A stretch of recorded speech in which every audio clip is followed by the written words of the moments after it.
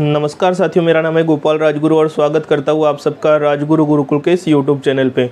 साथियों, जैसा कि सा- आप सभी लोग जानते हैं, जो अपकमिंग वैकेंसी है, उसका नाम है एएलपी और टेक्नीशियन और एएलपी और टेक्नीशियन में जो सिबिलिट टू एग्ज़ाम होगा, उस एग्ज़ाम में जो मेन रोल प्ले करेगा, उस, वो सब्जेक्ट है बेसिक साइंस और इंजीनियरिंग ड्राइंग और उस इन, जो बेसिक साइंस है दोस्तों, उस बेसिक साइंस में एक चैप्टर है इलेक्ट्रिसिटी लगभग प्रीवियस ईयर के सारे जो पेपर है, उनमें लगभग दो क्वेश्चन जो है दोस्तों इलेक्ट्रिसिटी से आए हैं। तो आज जो हम चैप्टर पढ़ने वाले हैं, उस चैप्टर का नाम है इलेक्ट्रिसिटी तो दोस्तों स्टार्ट करते हैं हम आज इलेक्ट्रिसिटी इलेक्ट्रिसिटी बोले तो दोस्तों, विद्युत।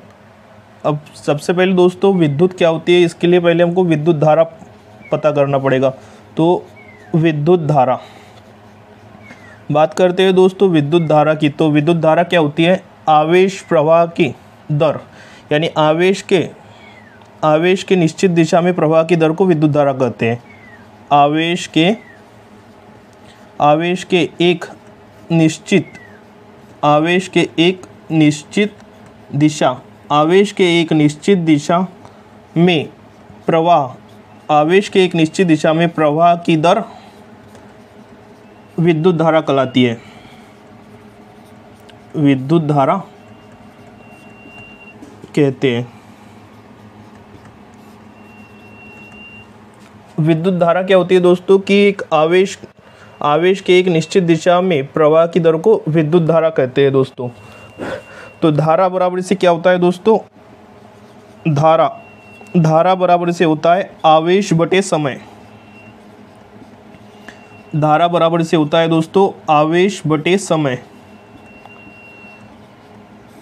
जो धारा है दोस्तों, धारा का जो मात्रक होता है, ये होता है दोस्तों एम्पियर। धारा को काय में मापते हैं दोस्तों, एम्पियर में मापते हैं और आवेश को मापते हैं दोस्तों गुलाम में। धारा को मापते हैं एम्पियर में, आवेश को मापते हैं गुलाम में और समय को मापते हैं दोस्तों, सेकंड में। तो हम कह सकते हैं दोस्तों कि एक एम्पियर जो होता है, एक गुलाम बटे एक सेकंड के बराबर होता है। विद्युत धारा। सबसे पहले दोस्तों देखो विद्युत धारा। विद्युत धारा क्या है? तो आवेश प्रवाह के एक, आवेश के एक निश्चित दिशा में प्रवाह की दर विद्युत धारा कहलाती है। और धारा बराबर से क्या होता है? आवेश बटे समय होता है। धारा को जो मात्रक है दोस्तों, वो एम्पियर है। आवेश का मात्रक गुलाम है और समय का मात्रक सेकंड है। एम्पियर का जो सिंबल होता है दोस्तों ए गुलाम का क्यू और सेकंड का यस। यानी एक एम्पियर जो होता है, एक गुलाम बटे एक सेकंड के बराबर होता है। इसके बाद दोस्तों बात करते हैं। परमाणु की। परमाणु या एटम इसको एटम कहते हैं दोस्तों, परमाणु। परमाणु क्या होता है दोस्तों? किसी पदार्थ का वह कण, किसी पदार्थ का वह कण जिसको और अधिक विभाजित नहीं किया जा सकता, उसको कहते हैं दोस्तों परमाणु।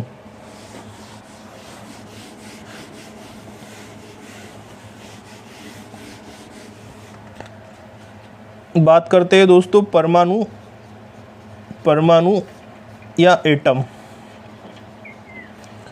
तो किसी पदार्थ का वह, किसी पदार्थ का वह छोटे से छोटा कण जिसको और अधिक विभाजित नहीं किया जा सकता, उसको कहते हैं दोस्तों परमाणु. और परमाणु दोस्तों, हम देखते हैं परमाणु का स्ट्रक्चर कैसा होता है। तो सबसे पहले देखिए दोस्तों, ये परमाणु का स्ट्रक्चर कुछ इस टाइप का होता है। इस परमाणु में दोस्तों, एक नाभिक होता है। परमाणु है दोस्तों, ये परमाणु का स्ट्रक्चर है, इस परमाणु के अंदर क्या होता है दोस्तों, एक नाभिक होता है। ये जो है दोस्तों, ये परमाणु का क्या है? नाभिक है।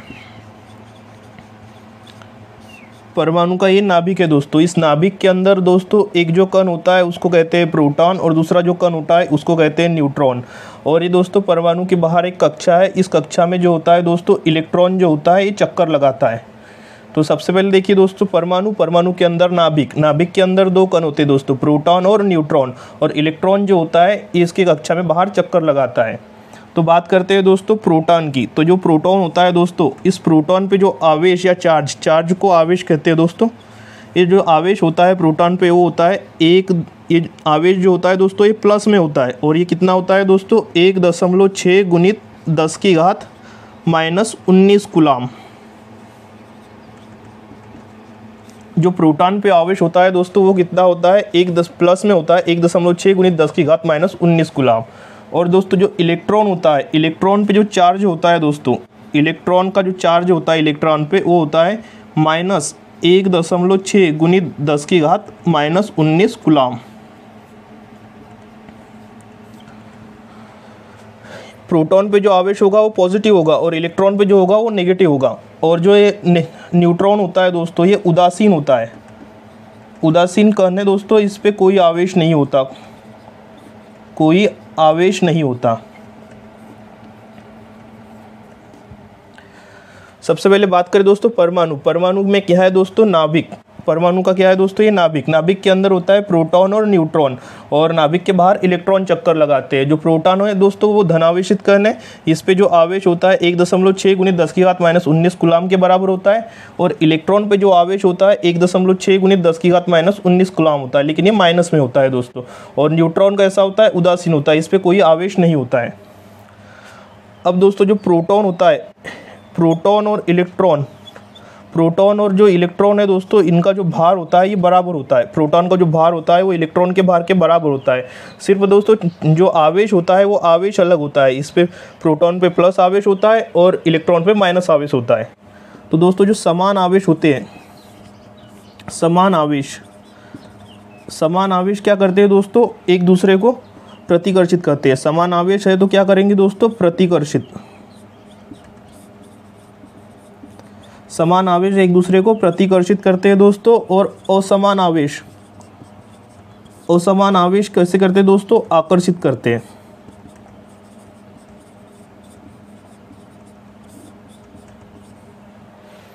समान आवेश एक दूसरे को प्रतिकर्षित करते हैं दोस्तों, और समान आवेश एक दूसरे को आकर्षित करते हैं।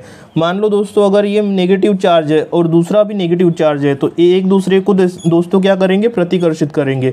ये अगर पॉजिटिव है और दूसरा भी पॉजिटिव है तो ये भी क्या करेंगे दोस्तों? प्रतिकर्षित करेंगे। लेकिन इसमें से अगर एक पॉजिटिव है और दूसरा नेगेटिव है तो ये क्या करेंगे दोस्तों? एक दूसरे को आकर्षित करेंगे। समान आवेश क्या होते हैं दोस्तों? एक दूसरे को प्रतिकर्षित करते हैं और समान आवेश एक दूसरे को आकर्षित करते हैं।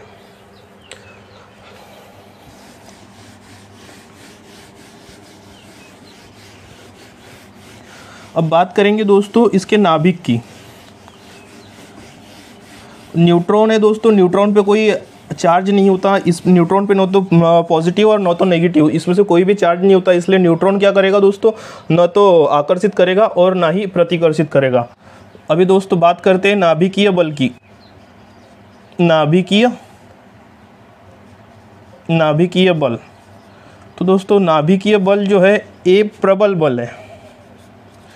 प्रबल बल मतलब स्ट्रॉन्ग फोर्स है दोस्तों, प्रबल बल है। नाभिकीय बल कैसा है? एक टाइप का प्रबल बल है, एक स्ट्रॉन्ग फोर्स है। दूसरी बात करिए तो ये कैसा है दोस्तों? ये आकर्षण प्रकृति का बल है। आकर्षण प्रकृति का, आकर्षण प्रकृति का बल है दोस्तों। नाभिकीय बल कैसा है? एक स्ट्रॉन्ग फोर्स है, दूसरा ये आकर्षण प्रकृति का बल है। तीसरे नंबर पे अगर बात करें दोस्तों तो ये अल्प दूरी में लगने वाला बल है। यानी कि ये कम दूरी पे लगता है दोस्तों। अल्प दूरी अल्प दूरी में लगने वाला बल।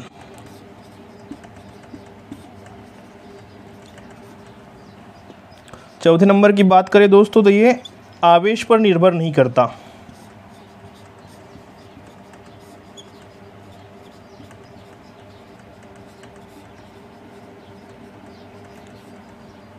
और पाँचवें नंबर की अगर बात करें दोस्तों तो ये कैसा है?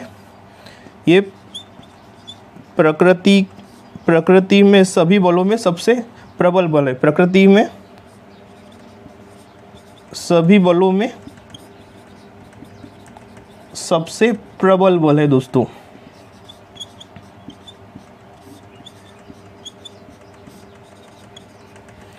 बात करें दोस्तों नाभिकीय बल की तो नाभिकीय बल जो दोस्तों, एक कैसा बल है? ये प्रबल बल है, यानी एक स्ट्रॉन्ग फोर्स है।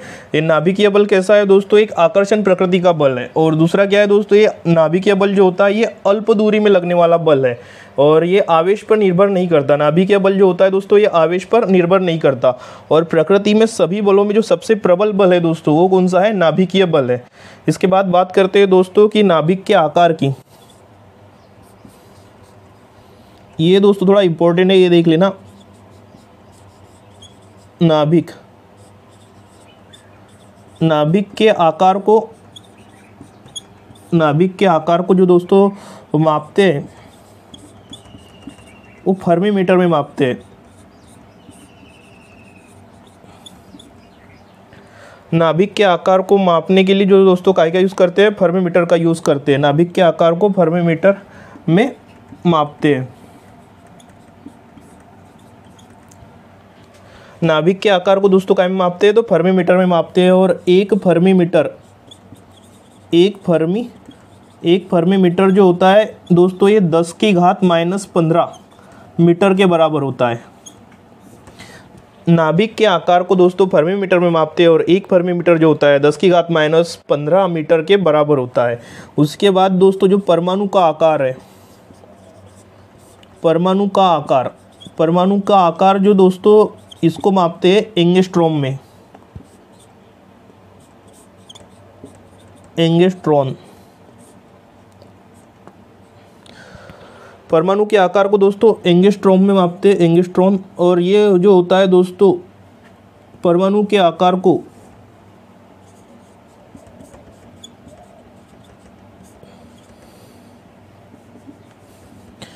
परमाणु के आकार को एंगस्ट्रॉम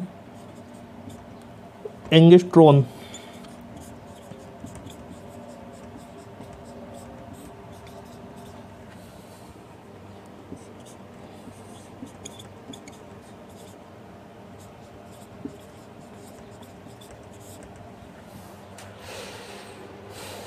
परमाणु का आकार जो दोस्तों, परमाणु के आकार को एंगेस्ट्रॉम में मापते हैं दोस्तों। एंगेस्ट्रॉन में मापते हैं परमाणु का आकार और एक एंगेस्ट्रॉम बराबर से दस की घात माइनस दस मीटर के बराबर होता है।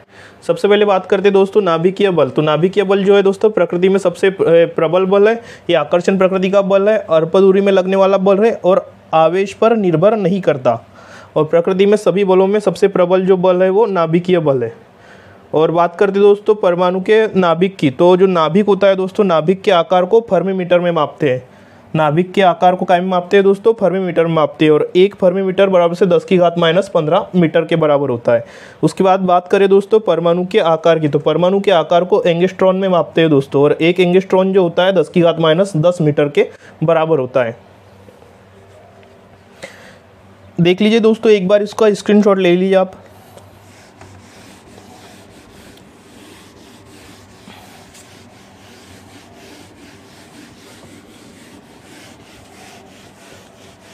अब जो बात करेंगे दोस्तों, हम एक खोज के बारे में बात करेंगे कि यानी प्रोटॉन, न्यूट्रॉन की खोज किसने किसने की। तो सबसे पहले डालेंगे आप यहाँ खोज।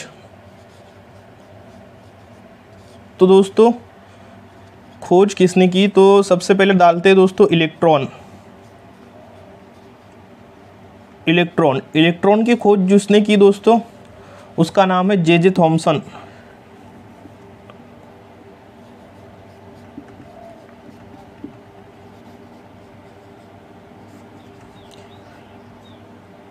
इलेक्ट्रॉन की खोज किसने की दोस्तों? इलेक्ट्रॉन की खोज जे जे थॉम्सन ने की। उसके बाद दोस्तों प्रोटॉन। प्रोटॉन। प्रोटॉन की खोज किसने की दोस्तों? Goldstein. गोल्ड स्टीन या रदरफोर्ड। इलेक्ट्रॉन की खोज किसने की दोस्तों? जे जे थॉमसन ने। और प्रोटॉन की खोज गोल्डस्टीन या रदरफोर्ड। इसमें दोस्तों दो नाम इसलिए क्योंकि दोस्तों जो प्रोटॉन की खोज की थी, प्रोटॉन की खोज तो गोल्डस्टीन ने की थी दोस्तों। खोज किसने की थी? गोल्डस्टीन ने। लेकिन जो प्रोटॉन नाम दिया, वो दिया रदरफोर्ड में। अगर ऑप्शन में दोस्तों गोल्डस्टीन नहीं है उस तब हम रदरफोर्ड टिक करेंगे। अगर ऑप्शन में गोल्डस्टीन है तो हम गोल्डस्टीन को टिक करेंगे। यानी प्रोटॉन की जो खोज की थी, वो गोल्डस्टीन ने की थी, और जो नाम दिया था, वो रदरफोर्ड ने दिया था। इलेक्ट्रॉन की खोज, जे जे थॉमसन, प्रोटॉन की खोज गोल्ड या रदरफोर्ड, उसके बाद न्यूट्रॉन।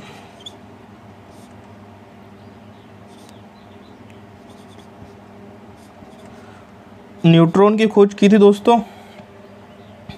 चैडविक ने। James Chadwick.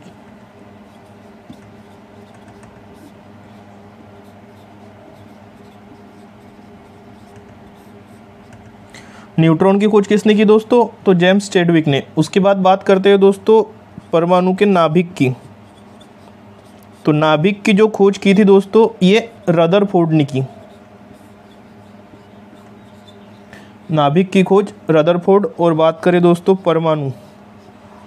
परमाणु तो परमाणु की खोज किसने की दोस्तों? तो ये की थी जॉन डॉल्टन। सबसे पहले देखो दोस्तों, खोज खोज में यानी जो इलेक्ट्रॉन है, इलेक्ट्रॉन की खोज की, जे जे थॉमसन ने, प्रोटॉन की खोज की, गोल्डस्टिन प्रोटॉन की खोज गोल्डस्टिन ने की थी, लेकिन जो प्रोटॉन नाम दिया था वो रदर रदरफोर्ड ने दिया था। न्यूट्रॉन की खोज, जेम्स चैडविक और नाभिक की खोज किसने की दोस्तों? नाभिक की खोज रदर रदरफोर्ड ने की और परमाणु परमाणु की खोज किसने की दोस्तों? तो जॉन डॉल्टन ने परमाणु की खोज की थी। और दोस्तों, एक और किसी बंधी हुई अवस्था के लिए जो कुल ऊर्जा रहती है दोस्तों, वो हमेशा नेगेटिव रहती है। एक पॉइंट डालेंगे दोस्तों आप यहाँ, किसी बंधी हुई अवस्था के लिए कुल ऊर्जा जो होती है नेगेटिव होती है।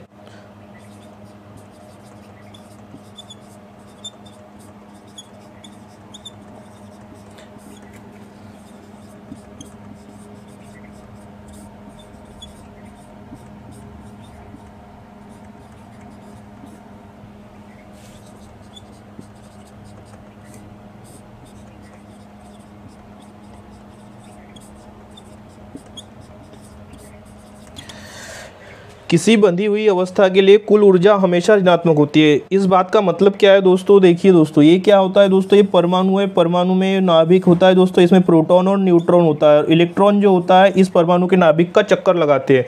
यानी ये जो इलेक्ट्रॉन है दोस्तों, ये किससे? परमाणु के नाभिक से बंधा है। तो ये इलेक्ट्रॉन की जो ऊर्जा रहेगी दोस्तों, हमेशा कैसे रहेगी? नेगेटिव रहेगी। यानी कि किसी बंधी हुई अवस्था के लिए जो कुल ऊर्जा रहती है दोस्तों, वो नेगेटिव रहती है। ऐसे ही दोस्तों, जो पृथ्वी होती है दोस्तों सूर्य का चक्कर लगाती है। तो पृथ्वी की जो कुल ऊर्जा ऊर्जा रहेगी, कैसी रहेगी दोस्तों? ऋणात्मक रहेगी। अब बात करते हैं दोस्तों कि मूलभूत कण की। मूलभूत कण क्या होते हैं? तो मूलभूत कण बोले तो दोस्तों, वह कण जिसको और अधिक विभाजित नहीं किया जा सकता, उसको मूलभूत कण कहते हैं। यानी ये दोस्तों, मूलभूत कण।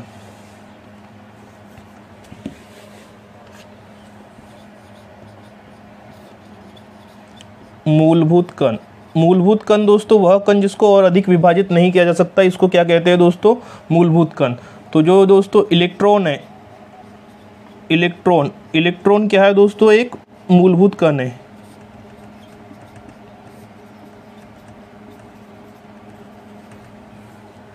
मूलभूत कण दोस्तों तो जो इलेक्ट्रॉन है दोस्तों, एक मूलभूत कण है, क्योंकि इस इलेक्ट्रॉन को और अधिक विभाजित नहीं किया जा सकता। लेकिन जो प्रोटॉन और न्यूट्रॉन है दोस्तों, ये प्रोटॉन और न्यूट्रॉन है। ये मूलभूत कण नहीं है, प्रोटॉन और न्यूट्रॉन जो है दोस्तों, ये मूलभूत कण नहीं है। प्रोटॉन और न्यूट्रॉन है जो दोस्तों, ये क्या है? मूलभूत कण नहीं है। इलेक्ट्रॉन जो है दोस्तों, एक मूलभूत कण है, लेकिन प्रोटॉन और न्यूट्रॉन एक मूल मूलभूत कण नहीं है, क्योंकि दोस्तों, प्रोटॉन और न्यूट्रॉन को जो होता है दोस्तों, क्वार्कस क्वार्कस में विभाजित किया जा सकता है।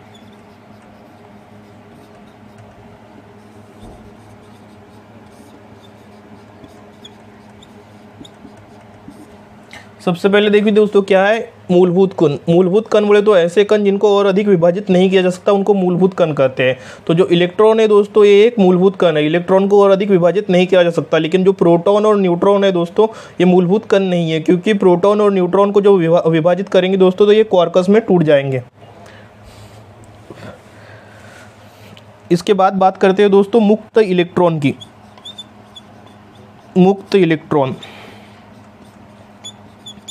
मुक्त इलेक्ट्रॉन क्या होते हैं दोस्तों? तो सबसे पहले देखिए दोस्तों, ये क्या है? परमाणु। और ये परमाणु क्या है दोस्तों? परमाणु के अंदर नाभिक। नाभिक में क्या होता है दोस्तों? प्रोटॉन और न्यूट्रॉन होता है। और इलेक्ट्रॉन इस नाभिक के बाहर चक्कर लगाता है। जब क्या है दोस्तों? इस नाभिक के बाहर जो इलेक्ट्रॉन है दोस्तों, इस इलेक्ट्रॉन को अगर हम बाहर से बाहर से तापीय ऊर्जा देते हैं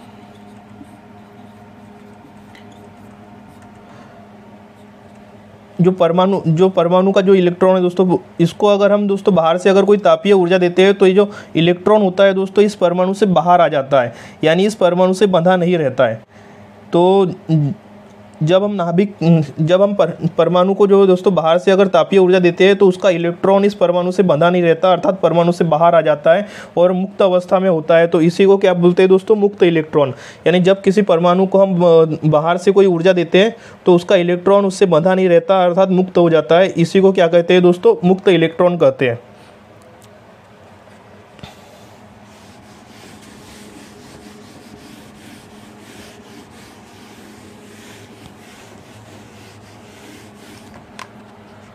अब बात करते हैं दोस्तों सुचालक। सुचालक बोले तो कंडक्टर सुचालक सुचालक जो होता है दोस्तों, सुचालकों में मुक्त इलेक्ट्रॉनों की संख्या कैसी होती है दोस्तों? मुक्त इलेक्ट्रॉनों की संख्या अरबों खरबों में होती है।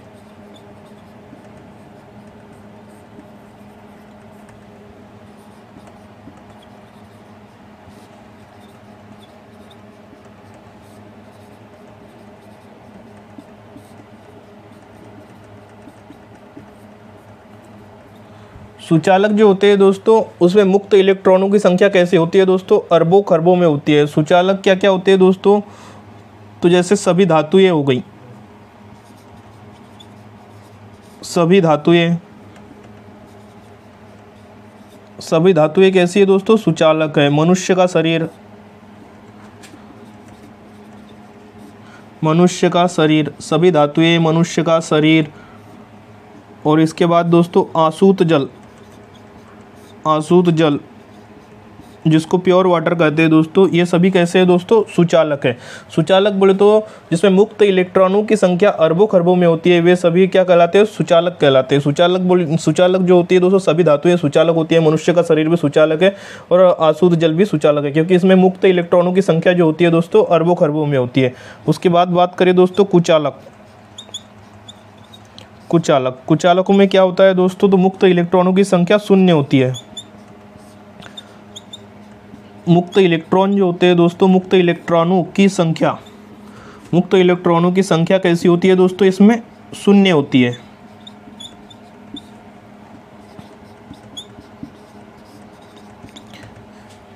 कुचालक। कुचालक में क्या होता है दोस्तों? मुक्त इलेक्ट्रॉनों की संख्या शून्य होती है। इसके जो उदाहरण है दोस्तों, कुचालक के, ये है लकड़ी। लकड़ी, पेपर। लकड़ी, पेपर, सादा पानी। ये सब क्या है दोस्तों? कुचालक है, क्योंकि इसमें दोस्तों जो इलेक्ट्रॉन होते हैं, मुक्त इलेक्ट्रॉन, इनकी संख्या शून्य होती है। सुचालक, कुचालक और इसके बाद दोस्तों जो आते हैं, अर्धचालक। अर्धचालक जो होते हैं दोस्तों, इसमें मुक्त इलेक्ट्रॉनों की संख्या बहुत कम मात्रा में होती है।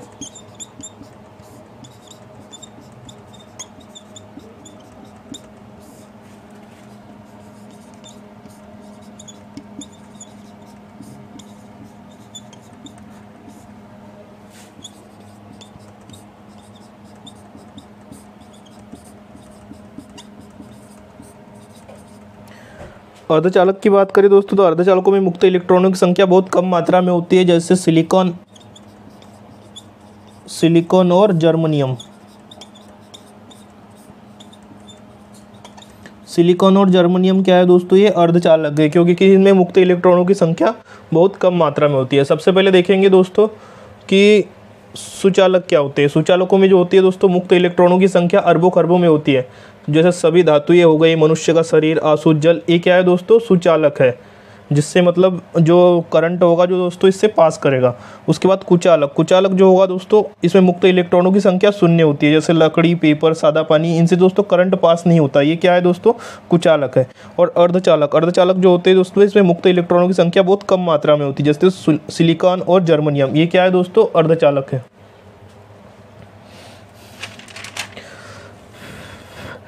अब दोस्तों, कुछ वन लाइनर क्वेश्चन है। आप उनको नोट डाउन कर लीजिएगा। बहुत बार क्वेश्चन मतलब एग्ज़ाम में आते हैं।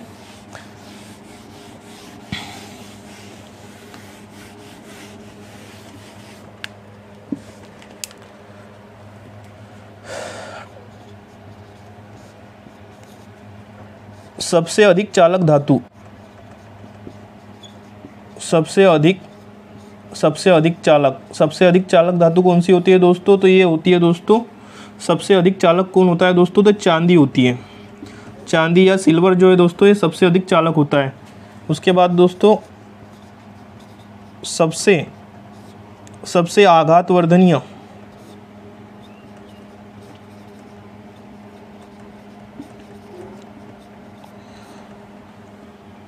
सबसे अधिक चालक धातु कौन सी है दोस्तों? चांदी है। सबसे सबसे अधिक सबसे अधिक आघात वर्धनीय धातु कौन सी है दोस्तों? आघात वर्धनीय बोले तो मेलेबल कहते हैं दोस्तों इंग्लिश में इसको।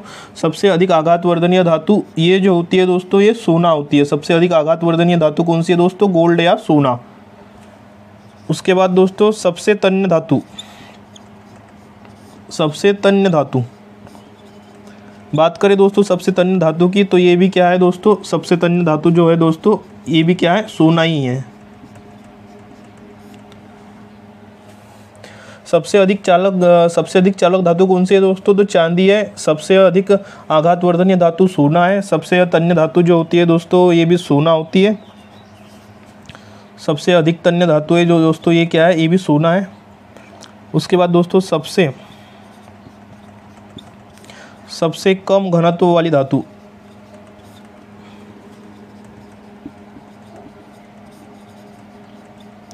सबसे कम घनत्व वाली धातु जो होती है दोस्तों, ये होती है लिथियम। सबसे कम घनत्व वाली धातु कौन सी है दोस्तों? लिथियम है। सबसे अधिक घनत्व वाली धातु।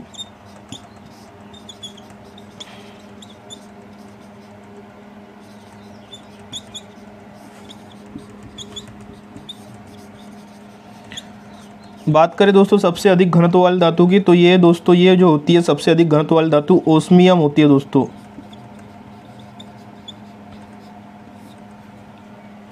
सबसे अधिक घनत्व वाली धातु कौन सी है? ओस्मियम है। और सबसे भारी धातु।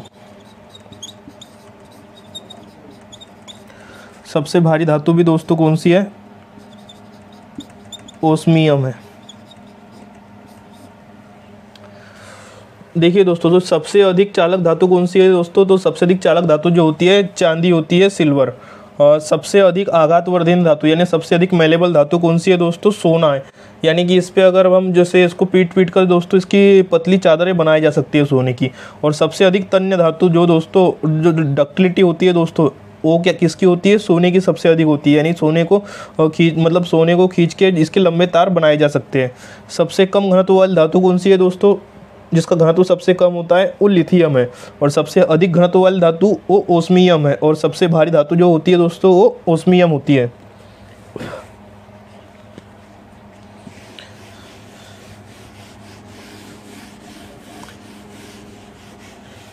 इसके बाद जो बात करेंगे दोस्तों, हम करेंगे इसके बाद बात विद्युत विभव विद्युत विभव या विभवांतर।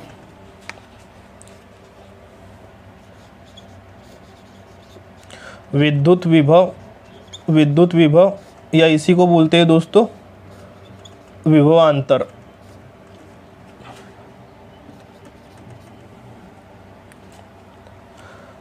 बात करें दोस्तों विभवांतर की तो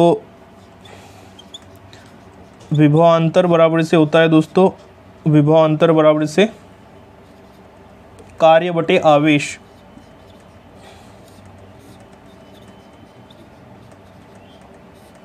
विभांतर बराबर से होता है दोस्तों, कार्य बटे आवेश, और विभांतर का मात्रक जो होता है दोस्तों, वो होता है ओल्ट। विभांतर का मात्रक जो होता है, ओल्ट होता है, कार्य का मात्रक जूल होता है, और आवेश का मात्रक गुलाम होता है। तो हम कह सकते हैं दोस्तों कि एक ओल्ट बराबर से एक जूल बटे एक गुलाम के बराबर है। यानी एक ओल्ट का मान जो होगा, वो एक जूल और बटे एक गुलाम के बराबर होगा।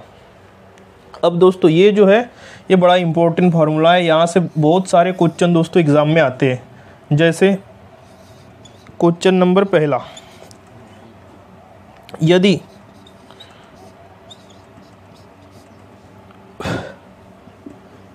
यदि दस की घात तीन कुलाम दस की घात तीन कुलाम आवेश को, यदि दस की घात तीन गुलाम आवेश को एक बिंदु एक बिंदु से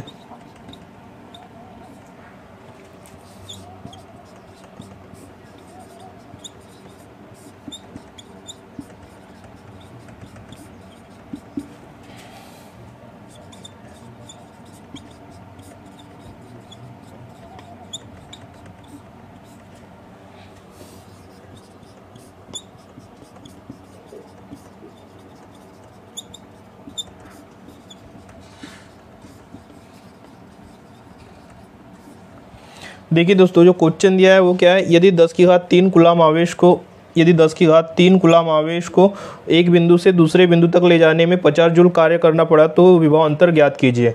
तो जब भी दोस्तों इस टाइप का क्वेश्चन आएगा, उसमें सबसे पहले हमको देखना होगा कि हमको दिया क्या है। इस क्वेश्चन को हल करने के पहले हम दोस्तों देखेंगे कि इस प्रश्न में हमारे पास दिया क्या क्या है। तो ये दिया है दोस्तों आवेश। आवेश जो दिया है दोस्तों, ये कितना दिया है? दस की घात तीन। दस की घात तीन गुलाम दस की घात तीन गुलाम को हम लिख सकते हैं दोस्तों, एक हज़ार। एक हज़ार गुलाम उसके बाद दोस्तों, हमारे पास सेकंड नंबर पे क्या दिया है कि ये दिया है दोस्तों कार्य। कार्य जो दिया है दोस्तों, ये पचास जूल। तो कार्य कार्य जो है दोस्तों, कितना दिया है? ये पचास जूल है। अगर दोस्तों हमारे पास आवेश भी दिया है, कार्य भी दिया है तो हम इससे विभाव अंतर आसानी से निकाल सकते हैं दोस्तों। ये देखिए दोस्तों, ये क्या है? V बराबर से क्या होता है दोस्तों? V विभाव अंतर बराबर से कार्य बटे आवेश। कार्य का मतलब ये डब्ल्यू और ये आवेश क्यू तो बस दोस्तों, इसमें हम फार्मूले में हम मान रख देंगे। वी क्या है दोस्तों? वी हमारे पास दिया नहीं है।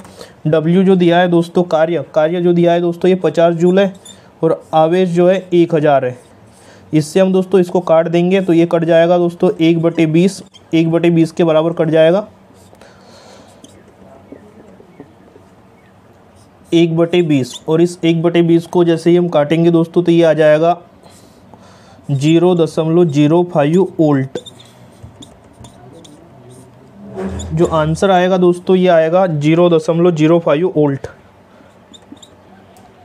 सबसे पहले देखिए दोस्तों, क्या है? विद्युत विभव विद्युत विभव इसी को बोलते हैं दोस्तों, विभवांतर। विभवांतर बराबर से क्या होता है? कार्य बटे आवेश। तो विभवांतर का जो मात्रक होता है दोस्तों, वो उल्ट होता है। कार्य का मात्रक जूल होता है और आवेश का मात्रक गुलाम होता है। यानी कि जो एक उल्ट है, एक जूल बटे एक गुलाम के बराबर होगा। यदि हमारे पास अगर क्वेश्चन एग्ज़ाम इस टाइप का आएगा दोस्तों, इसमें दोस्तों, ये जो दोस्तों तीन चीज़ें हैं, विभवांतर, कार्य और आवेश, इसमें से हमको दो चीज़ें दी रहेगी, इसमें से तीसरी चीज़ हमको निकालना पड़ेगा। तो यहाँ जो प्रश्न है दोस्तों, इस प्रश्न में हमारे पास एक जो दिया है दोस्तों, कार्य दिया है और आवेश दिया है विवाह अंतर हमको निकालना है। तो यहाँ दिया दोस्तों, यदि दस की घात तीन गुलाम आवेश को एक बिंदु से दूसरे बिंदु तक जाने में पचास जूल कार्य करना पड़ता है तो विवाह अंतर ज्ञात कीजिए। तो हमारे पास आवेश दिया है दोस्तों, दस की घात तीन, इसको लिख सकते हैं दोस्तों, एक हज़ार गुलाम। और कार्य दिया है पचास जूल। विवाह अंतर बराबर से होता है कार्य बटे आवेश। तो विभावांतर की जगह दोस्तों ये कार्य की जगह हम लिख देंगे दोस्तों पचास जूल और आवेश की जगह एक हज़ार गुलाम। जब इसको हम काटेंगे तो इसका जो आंसर आएगा दोस्तों, वो आएगा zero point zero five volt.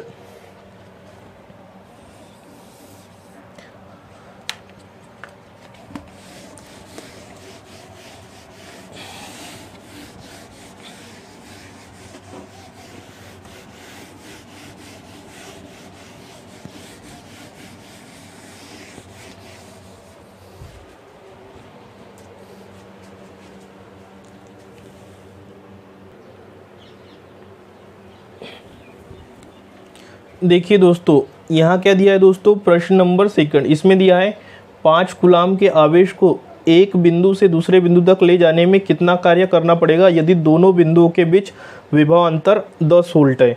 जब भी दोस्तों इस टाइप का प्रश्न आता है तो हमको देखना होता है कि हमारे पास दिया क्या है और हमको निकालना क्या है। तो सबसे पहले देखिए दोस्तों, इसमें दिया क्या क्या है हमारे पास?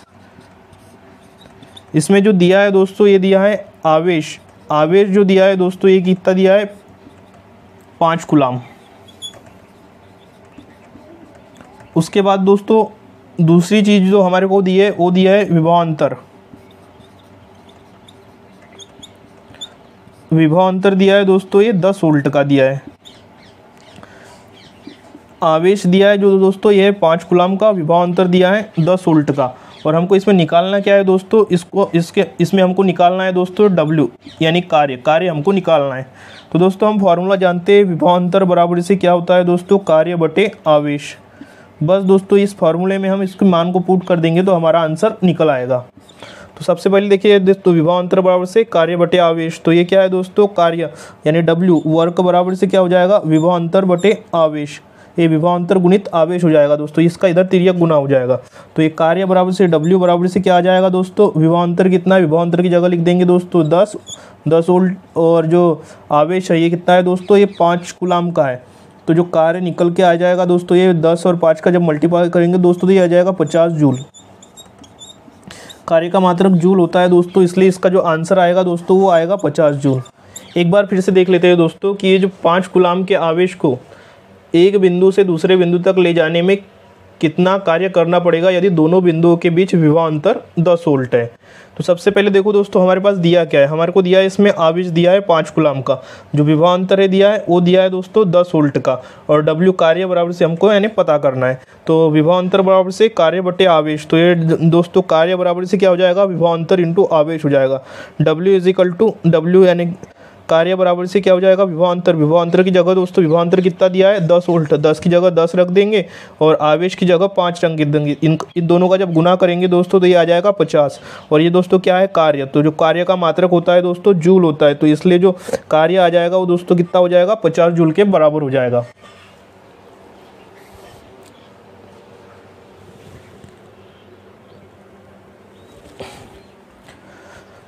प्रश्न नंबर तीसरा। इसमें देखिए दोस्तों, क्या दिया है कि 10 वोल्ट विभवांतर वाले दो बिंदुओं के बीच किया गया कार्य जो है 30 जूल है। तो दोनों बिंदुओं के बीच प्रवाहित होने वाला आवेश होगा। तो सबसे पहले देखते हैं दोस्तों, इसमें हमारे पास दिया क्या क्या है, यानी क्या क्या गिवन है। तो सबसे पहले देखो दोस्तों, विभवांतर। इसमें जो विभवांतर दिया है दोस्तों, वो ये कितना दिया है? ये दिया है दस वोल्ट। उसके बाद दोस्तों, इसमें क्या दिया है?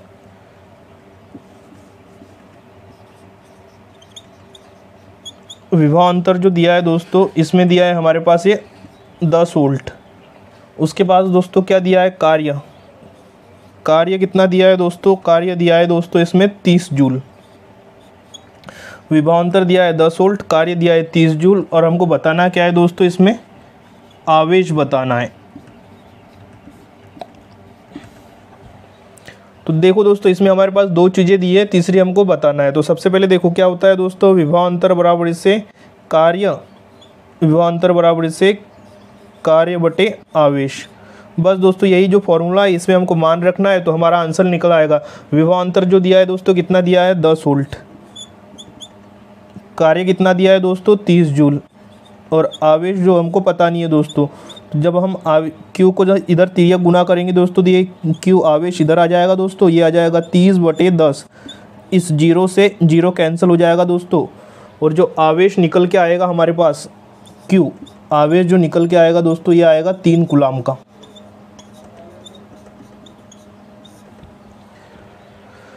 देखिए दोस्तों, हमारे पास इस क्वेश्चन में क्या दिया है? विभवांतर दिया है। कितना? है दस वोल्ट। कार्य दिया है तीस जूल। और आवेश हमको पता करना है। तो विभवांतर बराबर से कार्य बटे आवेश। तो इसमें देखिए दोस्तों, क्या होता है? विभवांतर की जगह विभवांतर कार्य की जगह कार्य और आवेश की जगह आवेश रख दिया। तो जो एक है दोस्तों, इधर आ जाएगा तिरक गुना करेंगे तो और दस क्या चल जाएगा नीचे। और ज़ीरो से ज़ीरो कट जाएगा तो क्यू जो आएगा दोस्तों, ये तीन गुलाम का आवेश आएगा।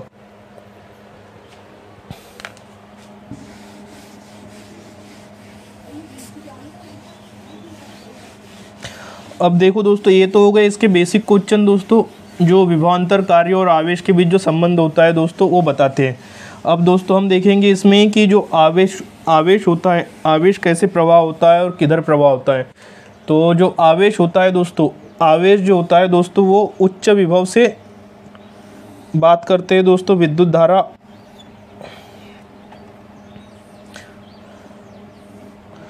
ये दोस्तों एक सर्किट है, इसमें जो दोस्तों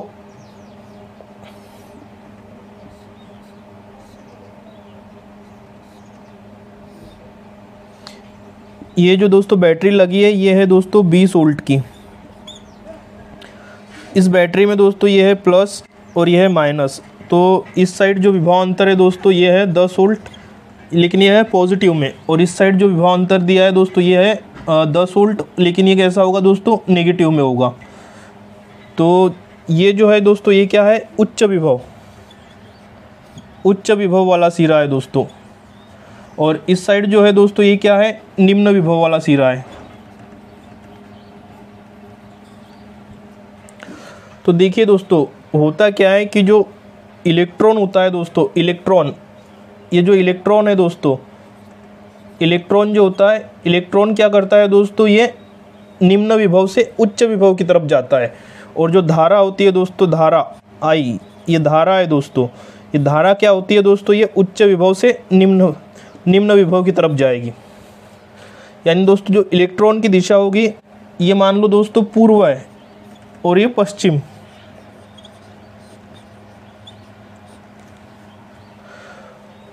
ये जो दोस्तों पूर्व है और ये पश्चिम है। अगर इलेक्ट्रॉन जो है दोस्तों, इलेक्ट्रॉन कहा जा रहा है पूर्व से पश्चिम की तरफ़ तो धारा जो करंट बहेगा दोस्तों, वो कहाँ बहेगा? पश्चिम से पूर्व की तरफ़। यानी कि जो इलेक्ट्रॉन जिस दिशा में चलता है, धारा उसके विपरीत दिशा में बहती है। इलेक्ट्रॉन जो होता है दोस्तों, ये निम्न विभव से उच्च विभव की तरफ़ जाता है और जो धारा जो होती है दोस्तों, करंट जो होता है दोस्तों, ये उच्च विभव से निम्न विभव की तरफ़ जाता है। अब दोस्तों देखिए इसमें विभवांतर कैसे निकालते हैं। ये क्या है दोस्तों? ये है दस वोल्ट विभवांतर।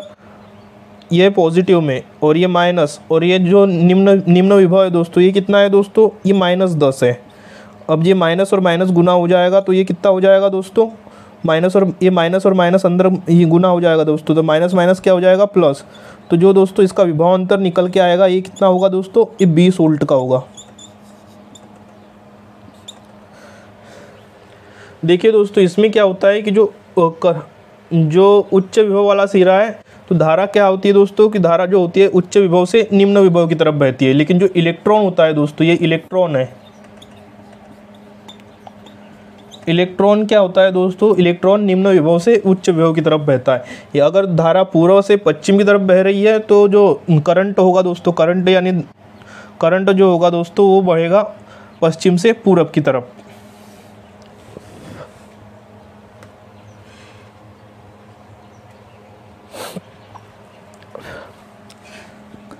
और दोस्तों, ये धारा बराबर से क्या होता है दोस्तों? धारा बराबर से होता है आवेश बटे समय। धारा को दोस्तों आई लिखते हैं, आवेश को क्यू लिखते हैं और समय के, सेकंड के लिए एस लिखते हैं दोस्तों। तो धारा बराबर से क्या होता है दोस्तों? आवेश बटे समय। और धारा धारा को क्या मापते हैं दोस्तों? एम्पियर में मापते हैं, आवेश को गुलाम में मापते हैं। आवेश को गुलाम में मापते हैं और समय को सेकंड में मापते हैं। यानी कि बात बोल सकते हैं दोस्तों, एक एम्पियर जो होता है, एक गुलाम बटे एक सेकंड के बराबर होता है।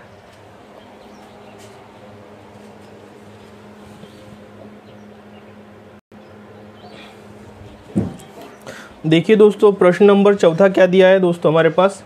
कि यदि किसी परिपथ में पाँच एम्पियर की धारा दो मिनट तक प्रवाहित की जाए तो आवेश की मात्रा होगी। यानी हमको इसमें आवेश पता करना है दोस्तों कितने गुलाम का आवेश होगा। तो सबसे पहले देखिए दोस्तों, ये क्या होता है दोस्तों? धारा। धारा बराबर से क्या होता है दोस्तों? आवेश बटे समय। धारा बराबर से क्या होता है दोस्तों? आवेश बटे समय। तो धारा को क्या मापते दोस्तों? एम्पियर में। तो ए हमारे पास दिया है। एम्पियर कितना दिया है दोस्तों? ये पाँच। और जो दोस्तों और दिया है, हमारे पास इसमें जो समय दिया है दोस्तों, समय। समय को मापते हैं दोस्तों सेकंड में।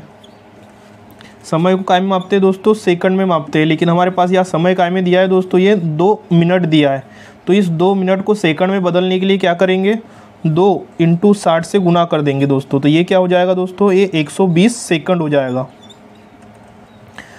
अब दोस्तों, ये आज आ गया दोस्तों समय। अब हमको इसमें निकालना है आवेश तो इसमें मान रख देंगे दोस्तों। आई कितना है दोस्तों? ये दिया है पाँच एम्पियर। आवेश हमको पता नहीं है और समय जो दिया है दोस्तों, ये दिया है 120 सेकंड। तो दोस्तों, इसमें क्या करेंगे दोस्तों, इसका तिरक गुना कर देंगे पाँच के साथ तो ये बारह पंचे साठ हो जाएगा दोस्तों, और ये आवेश निकल के आएगा, ये कितना हो जाएगा दोस्तों, ये छः सौ गुलाम का आवेश होगा। देखिए दोस्तों, इस सवाल को एक बार और देखते हैं कि यदि किसी परिपथ में पाँच एम्पियर की धारा दो मिनट तक प्रवाहित की जाए तो आवेश की मात्रा क्या होगी? सबसे पहले देखिए दोस्तों, धारा बराबर से क्या होता है? आवेश बटे समय। तो इसमें हमारे पास जो धारा दी है दोस्तों ये दी है पाँच एम्पियर की, ये जो दोस्तों, धारा जो दी है हमारे पास ये है दोस्तों पाँच एम्पियर और जो समय दिया है दो मिनट है। समय क्या है दोस्तों? दो मिनट। लेकिन हमको यहाँ समय काय में दिया है दोस्तों सेकंड में। तो इस मिनट को सेकंड में बदलने के लिए दोस्तों साठ से इसका गुना कर देंगे क्योंकि एक मिनट में क्या होते हैं दोस्तों साठ सेकंड होते हैं। तो दो मिनट में कितने होंगे दोस्तों? एक सौ बीस सेकंड। तो बस दोस्तों इसके बाद हम इसमें मान रख देंगे। आई की जगह पाँच एम्पियर क्यू की जगह क्यू और आ, समय की जगह 120 सेकंड। जब इसका तिरिया गुना कर देंगे दोस्तों तो ये निकल के आ जाएगा 600 गुलाम।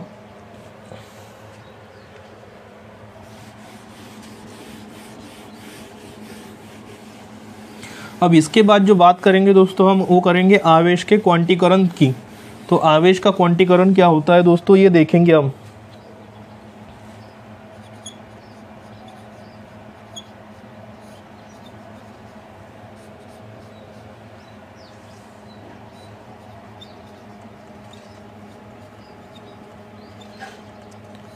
आवेश का क्वांटीकरण। इसमें दोस्तों क्या होता है, Q बराबर से क्या होता है दोस्तों एन ई होता है। क्यू क्या होता है दोस्तों? आवेश और एन क्या होता है? इसमें एन जो होता है दोस्तों, ये होता है नंबर ऑफ़ इलेक्ट्रॉन या number of number of proton या नंबर ऑफ़ इलेक्ट्रॉन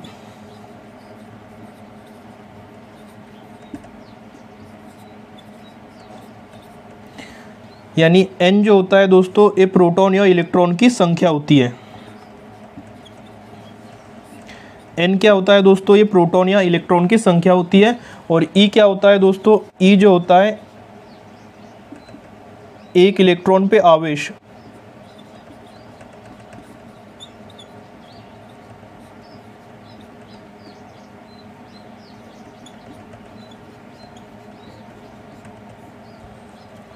एन क्या होता है दोस्तों? एन होता है number of pro number of proton या नंबर ऑफ़ इलेक्ट्रॉन की संख्या और ई e क्या होता है दोस्तों? एक इलेक्ट्रॉन पे आवेश होता है। तो आवेश का क्वांटीकरण क्या होता है दोस्तों? Q equal to N E अगर हमको पूछे दोस्तों कि एक गुलाम आवेश में कितने इलेक्ट्रॉन होते हैं?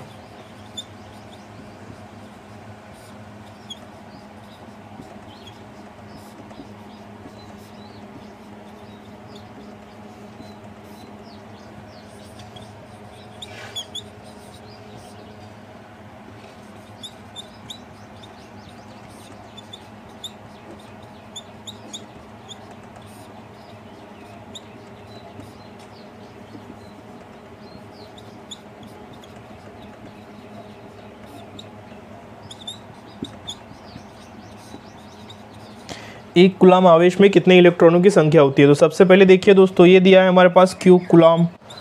ये गुलाम दिया है दोस्तों और ये नंबर ऑफ़ इलेक्ट्रॉन है। तो नंबर ऑफ़ इलेक्ट्रो ये इसमें दिया एन जो दिया है दोस्तों ये संख्या है। तो ये संख्या हमको पता करनी है दोस्तों। और ई e, ई e बोले तो दोस्तों इलेक्ट्रॉन जो है दोस्तों तो एक इलेक्ट्रॉन पे आवेश। तो एक इलेक्ट्रॉन पे आवेश कितना होता है दोस्तों? हमने शुरू में ही पढ़ा था कि जो इलेक्ट्रॉन पे आवेश होता है कितना होता है? एक दशमलव छः गुणित दस की घात माइनस उन्नीस गुलाम। एक इलेक्ट्रॉन पे आवेश कितना होता है दोस्तों? एक दशमलव छः गुणित दस की घात माइनस उन्नीस गुलाम। अब देखो दोस्तों, हमको निकालना है दोस्तों क्या? एन एन निकालना है तो ये जो दोस्तों क्यू है एन यहाँ आ जाएगा दोस्तों और ये आ जाएगा क्यू के नीचे। तो ये क्यू बराबर क्यू अपॉन में क्या होगा जाए दोस्तों? एक दशमलव छः गुणित दस की घात माइनस उन्नीस गुलाम। इस गुलाम से दोस्तों एक गुलाम कट जाएगा। तो ए एन जो एन आएगा दोस्तों, ए, एन क्या होगा दोस्तों? एक बटे एक दशमलव छः गुणित दस की घात माइनस उन्नीस। अब ये दोस्तों यहाँ दिया है दोस्तों, पॉइंट और ये यहाँ दिया है दोस्तों माइनस में दिया है दोस्तों तो ये माइनस वाला ऊपर चल जाएगा। एन बराबर से क्या हो जाएगा दोस्तों? दस की घात उन्नीस हो जाएगा। क्योंकि दोस्तों, जब भी कोई संख्या, अगर इसमें संख्या की घात में अगर माइनस लगा होता है तो इसको ऊपर जाने पे वो प्लस हो जाती है। तो ये हो जाएगा दस की घात माइनस दस की घात उन्नीस, और ये हो जाएगा वन पॉइंट सिक्स। और फिर दोस्तों, ये दस की घात उन्नीस, और ये वन पॉइंट को हटाने के लिए दोस्तों ऊपर दस बनाएँगे तो ये दस हो जाएगा, और ये क्या हो जाएगा दोस्तों? सोलह। फिर दोस्तों, यहाँ क्या हो जाएगा? यहाँ हो जाएगा दोस्तों दस की घात बीस, और ये हो जाएगा सोलह। फिर दोस्तों इसको हम फिर से तोड़ देंगे तो ये हो जाएगा दस की घात दो और इंटू दस की घात अठारह। यानी कि जो दस की घात बीस है दोस्तों, हमने इसको दो भागों में तोड़ दिया, दस की घात दो और दस की घात अठारह में। और ये हो जाएगा दोस्तों सोलह। फिर देखिए दोस्तों क्या होगा कि ये दस की घात दो बराबर से ये सौ हो जाएगा और ये दस की घात अठारह हो जाए ये दस की घात जो क्या होगा जो दोस्तों, अठारह। अभी सोलह से दोस्तों जब हम सबको काटेंगे तो ये कित, ये कट जाएगा दोस्तों पच्चीस बार और ये कट जाएगा चार बार। फिर काटेंगे दोस्तों, इसको तो ये कटेगा दोस्तों। छः कम छः और बच्चे कितने दोस्तों? एक छः दूने आठ और छः ये जो कटेगा दोस्तों छः दशमलव, इसका जो आंसर निकल के आ जाएगा दोस्तों छः दशमलव पच्चीस गुणित दस की घात अठारह गुलाम के बराबर, अठारह इलेक्ट्रॉन आएगा दोस्तों।